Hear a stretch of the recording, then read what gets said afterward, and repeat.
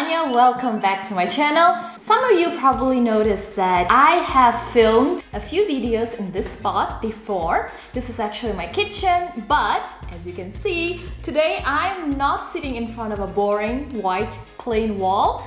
I have a backdrop! Ta-da! In today's video, I'm gonna show you how I turned my previous white wall into this gallery wall and everything is DIY. I've done everything by myself, well, except for the frames.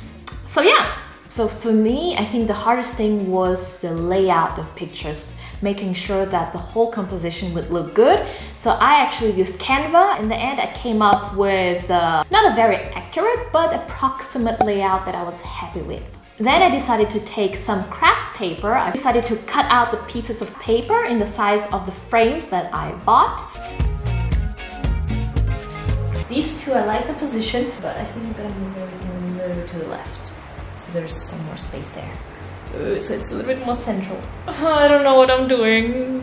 I hope it turns out well. I think the planning was very, very important. So only after planning, I started actually painting. So I think normally people would start with painting and then they would buy the frames later. However, I went the other way around.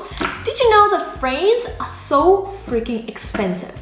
Like I was shocked. There were frames, for example, this size. This is a frame that I got for five euros. This is a second-hand one. But a normal, a new one at a home decor or craft shop, this could easily cost 30, 40 euros. That's insane, I think, for a picture frame. I uh, found some thrift shops and most of these frames were very, very affordable. So now let me show you the frames and the paintings and tell you a little bit about the process on how I made them. Let's start with this one. This is the first one. This is actually the only one that I didn't make. This is a poster that I got from Vietnam. It says the Vietnam Times, the Sunday Puzzle, Food Edition. So basically this is a crossword with all the Vietnamese staple dishes. For example, phở bò miến, chả cá, I really wanted to bring something related to the Vietnamese culture to put on the display. So I'm very happy with this. Alright, so the second one, this is actually the first drawing painting that I made for this gallery wall. It's this one. And I hope you can tell that this is Duomo uh, because right now I live in Milan. So I was like, I, I really want to paint something that's related to the city. This frame, I think was two years, something like this. And I bought it from Primark, I was very happy. I was looking on Pinterest for photos of Duomo and I really like this one. I really like the angle, but then I like the color of a different photo, so I decided to combine them both. Yeah, so I decided to save on the paper so I just found a piece of carton, cut it out, and drew it directly on the piece of carton, right? I, um, we like recycling, reusing materials. So I started with drawing the outline um, in pencil.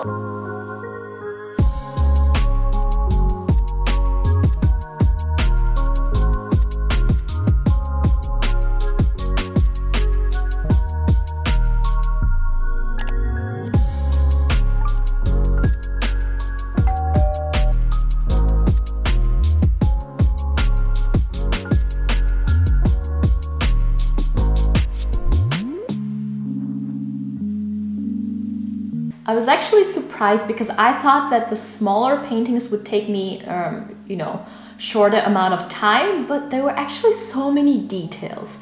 Now that I think about it, Duomo itself, it has so many intricate details that it's insane.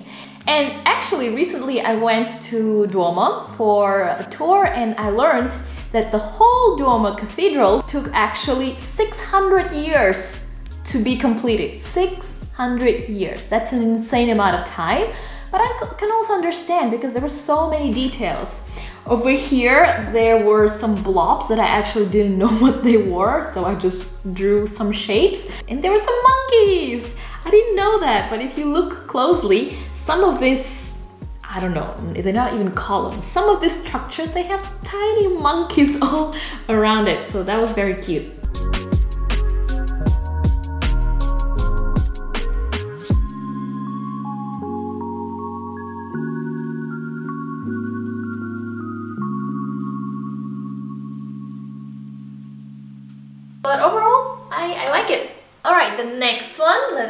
Let's go with, why don't we go with this one? I'm gonna do in a random order.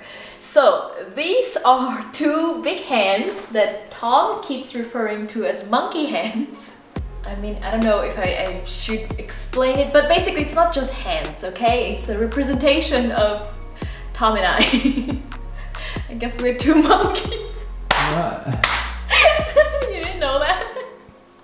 Initially, the idea was that I wanted to draw something related to us as a couple, something romantic. I don't know, personally, I think that it's a very romantic painting. some people see monkeys, some people see love, but whatever. I actually have been obsessed with body parts, like drawing body parts or like decor in the shape of body parts. Like, have you seen those candles in the shapes of like torso or like they look like statues? They're so pretty. Or like vases in shape of like faces with hands, so pretty. I drew the outline of the hands. The hands looked a little bit funny, a little bit um, uneven, so to say. And till this day, Tom still tells me that they look like monkey hands, but all right. I painted the background a little bit with beige, but then I didn't like the color, so I decided to change it to a little bit of gray. And then I drew the hands themselves. I really like the white spaces. I think it makes it look even more 2D, like a poster, like a print, basically. I didn't come up with these hands I actually saw the picture on Pinterest. Yeah, so I knew that I wanted to draw hands, but hands are very difficult to draw, so I chose to draw something like a print 2D instead of something more realistic. But I think I added the deep meaning myself. All right, let's go with the next one. Let's go with this one. This is uh, probably the most cringe-worthy one out of all of them. Um, that's what Tom said. He said it's he said it's cringe-worthy, but I, I kind of agree. So this is a DIY Spotify plate. Um, this is not anything new. I think it's pretty unique, but actually the tutorials exist on YouTube and they have been up for a few years now. So this is nothing too unique, but I still wanted to try it out. This is a picture of uh, Tom and I. Um, this is an actual picture that we took in Hanoi and I really like it. I kind of messed up a little bit with, uh, with the paint, but it's okay. This one, it's very simple. I basically saved the picture of the code. On Spotify, I took a screenshot of the names, if you want to include the names. I printed them out and then I cut out the picture. I glued it onto the paper. Oh, by the way, this frame also was very cheap. I bought it in the Flying Tiger shop for like four or five euros so I was very happy with that. Very cool because you can use anything. I used my acrylic paint and I just put the coat under the glass to see the contour and I just painted over with acrylic paint. Mine is not super super clean but hey I'm happy with it. I like how it came out and I decided not to add any words so I didn't add the title of the song or the performer but this still works and I'm gonna show you. I have my phone and I'm going to show you. So when you go to Spotify, you go to search and you click on the photograph and you put it here. It actually plays the song. Okay, never mind. That's it. I just wanted to show you that it works. So let me show you the next one. Let's go over to this one. All right, so this is probably one of my favorites, if not the favorite one. This is a painting done on the pages of a book and uh, it's an astronaut sitting on a planet. I really wanted to do something with the space or celestial theme because Tom really really likes space and I like anything celestial. I think it's just very very pretty. So I know some of you might be like, oh my god, no, you did not use a book. I did, but I made sure to ask for permission. I specifically used the pages that I knew that Tom already read, is familiar with. I really like that the pages actually were in Italian. It's very, very beautiful book and the whole topic of the book was about the universe, about space, planet, and stars. So I thought it was perfect. To make it fit, to make it look a little bit more interesting, I decided to cut the strips out. I glued them on the piece of carton that I already had before. Again, we are recycling, we're reusing the materials we already have. And then I drew the details.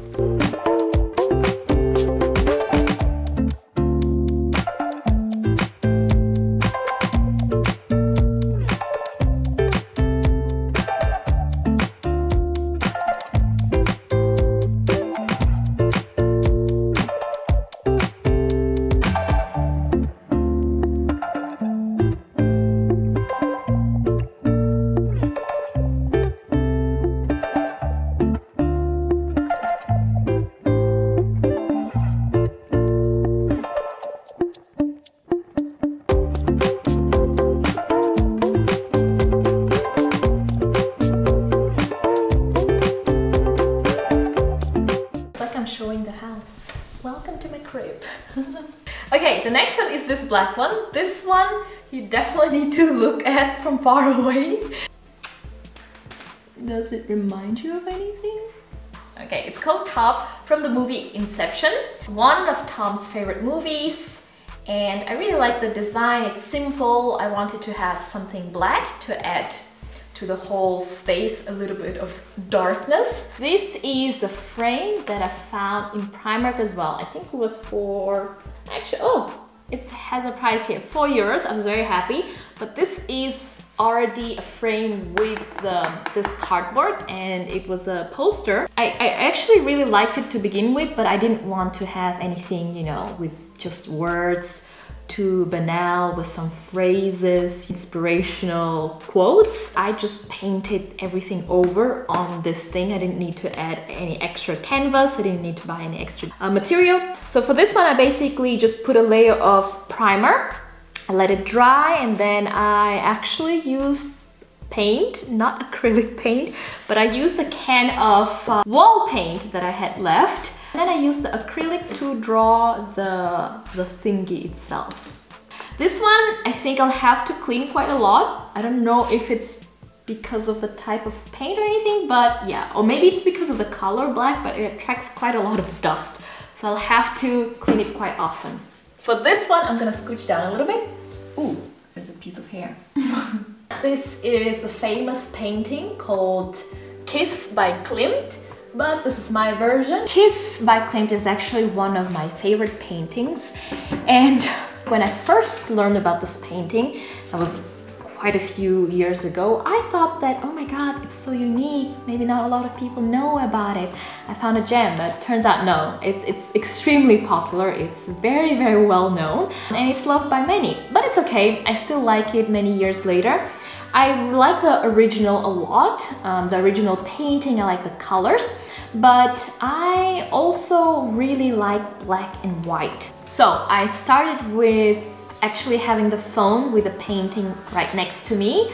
I looked at it and tried to draw the main outline, the main lines only. Then I used my markers to, um, uh, to basically outline everything. And then I decided to add some black parts. Very simple. And I did not want to add too many details, so I only added a few rectangles, a few little spiral things, and I really like how it came out. Alright, the next one is this one. Now, I don't know if you can guess, this is an abstract skyline of one city, of a city where I'm from. Hmm, let me know in the comments if you can figure out what city this is. so these are the three out of the main buildings that I would say are the symbols of the city. Oh, I don't really can tell. I decided to add a little bit of gold and red to match the red from the poster here so that not everything is just black and white and brown. I wanted to add some color. This frame was very difficult to work with. I basically thrifted this frame uh, from a secondhand shop for, was it five euros? But I'm gonna show you the behind. The behind is everything is thanks to Tom. He made this construction. Basically when you buy frames, like if you decide to buy frames first, like I did, please be careful when you buy the canvas because this one actually didn't fit into this frame. So Tom had to adjust everything and yeah, it's, it's a little bit of effort, but I think it came out well. It's very nice. The more I look at it, the, the more I like it. The moment I finished it, I was like, mm, maybe it's not that great, but now, now I'm okay. now I like it. Uh, but yeah, let me know in the comments if you know what city this is. The last one. This one is big and probably from far away probably looks just like a white rectangle in a black frame.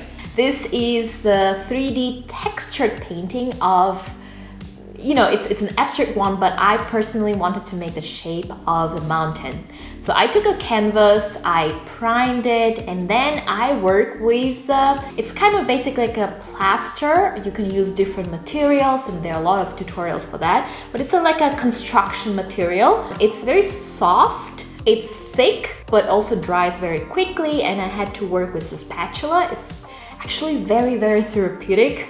It's very relaxing and I was surprised because it's the biggest painting, biggest canvas, but it literally took the shortest time to complete. So I wanted to make a shape of a mountain. Clearly it's all covered in white, so it reminds me of snow, snowy, winter weather, and I'm from Russia and Russia, of course, is known for very cold winters with a lot of snow, and I have a lot of very fond childhood memories related to snow, winter sports, and um, yeah. Initially, I wanted to draw some small figures, like actually like me and my mom there, but I decided to not to. Yeah, I'm not very good with drawing figures and people. I decided to keep it minimal, but then every time I look at it, I don't see just a blob of white um, I still think about you know, my childhood. Alright, well, that is all. I really hope you enjoyed this video. This video is a little bit different. It's not really related to Italy, uh, but I mean, besides the Duomo picture, I do like anything that's related to art, crafts, so maybe some of you will find this interesting and will want to recreate some of these paintings as well. Well, that's tutto for today and I will see you in the next video. Bye bye!